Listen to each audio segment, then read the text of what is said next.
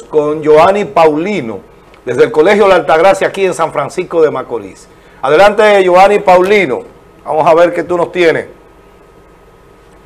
Esta cobertura especial a través de Telenor, siguiendo paso a paso todas las incidencias de las elecciones extraordinarias municipales este domingo 15 de marzo. Me encuentro con el senador por la provincia Duarte, Amílcar Romero, quien ya ha ejercido su derecho al voto. El panorama actual, senador, a esta hora de la mañana en este proceso electoral. A esta hora de la mañana todo está muy tranquilo, eh, la gente está fluyendo a la votación nosotros esperamos que en la medida que pase el tiempo pues se acelere un poco más lo que es la población de electores, pero podemos decir que el comportamiento incluso en las mesas electorales pues ha sido muy bien, hay una buena eh, disposición de, y buenas informaciones de parte de los responsables de administrar lo que son las mesas y, los delegados, pues en defensa de cada uno de los intereses de los partidarios que tiene, pues indudablemente también están en armonía. Lo que quiere decir que de seguir así, de manera tranquila,